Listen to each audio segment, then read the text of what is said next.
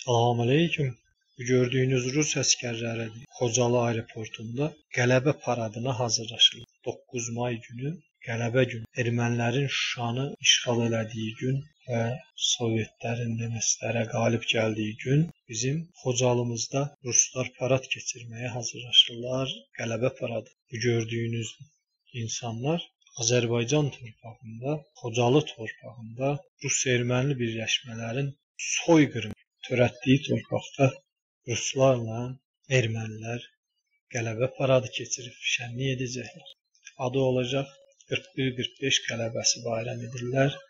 Halbuki Azərbaycanın Şuşanı işğal elədikləri günü bizə işgəncə kimi bayram edəcəklər.